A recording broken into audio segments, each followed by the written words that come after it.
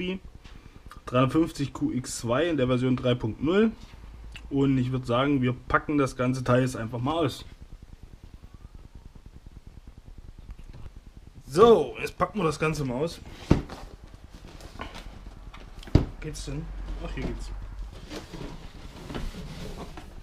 Ich drehe das mal zur Seite. Ich hoffe, ihr erkennt alles. Also hinten haben wir.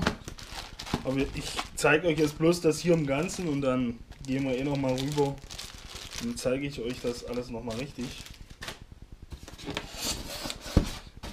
Ich wollte euch das nur mal im Ganzen zeigen, wie ihr das dann halt so vorfindet.